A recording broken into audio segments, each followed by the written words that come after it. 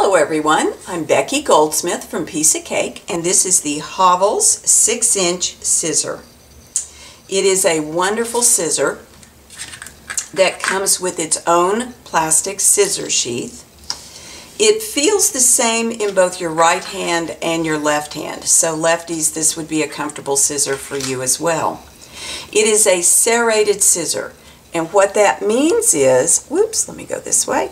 What that means is one blade has little teeth and the other blade is smooth.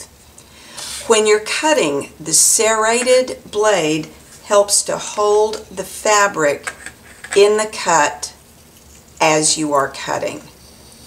Now notice that when I cut and I'm moving forward, the, the fabric tends to glide along the lower blade.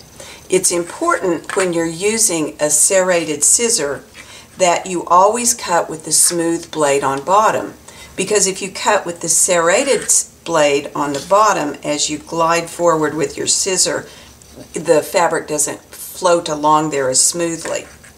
So I always place a scissor charm on my serrated scissors and it's as much to identify them as my scissor as it is to tell me that when I pick them up, I want to put this blade in my bottom fingers here, not where my thumb is. This blade is the serrated blade, and if you put your scissor charm like that, then you will always cut with the serrated blade on top and the smooth blade on the bottom. So for those of you with longer fig fingers or larger hands, I think this is going to be your most comfortable scissor for cutting large pieces of fabric or really for pretty much any applique shapes. This would be your go-to scissor. It is also very handy for cutting wool. There's something about the length of the blade, in addition to this being a, a serrated scissor, that makes this, even though my fingers are uh, pretty average size. Um, so I don't use this as much for fabric, but this is always the scissor I go to with wool.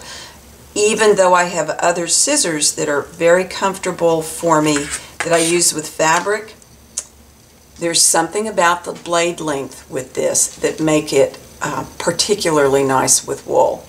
So, this is a scissor that I use not all the time, but often enough that I think it's important to have in my scissor collection. So, this is the Havel 6-inch scissor. I think it's a good tool to have in your collection too. I hope you enjoyed this video and found it helpful. May you have many happy stitches. Thanks for watching.